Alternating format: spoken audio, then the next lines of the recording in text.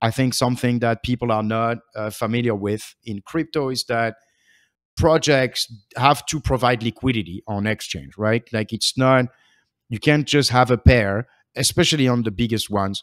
You can't just have a pair and then let things be organic. You actually have to provide liquidity on both sides to be mm-hmm. able for people to not have like a jittery experience, right? It has to be the smoothest possible. And so um, this is not something that is done in other kind of markets, but it is the case in crypto.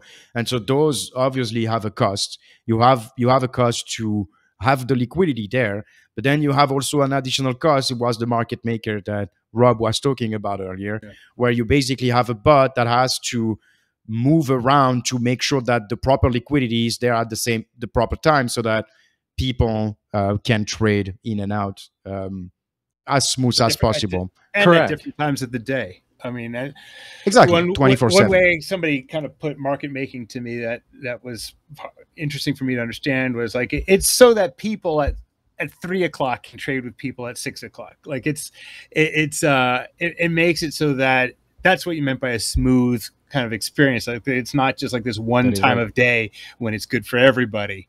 Um, so I think that was so there's there's cost associated with that. There's you know and and there's organization associated with that to talk to market makers. That that's an industry, right? There's there are people who do that for a living. Uh, companies, Correct. lots of them.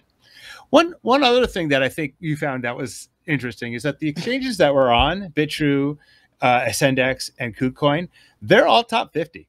Uh, they're, they're they're not that bad. Um, That's right. And, I think even more than that, um, while KuCoin went into a very strict KYC, uh, I think last June, um, Ascendex and Bitrue actually have. Uh, for Ascendex, it is actually uh, totally open. I think you don't have to verify. For Bitrue, there is you need level one. However, this is just an email or a phone number.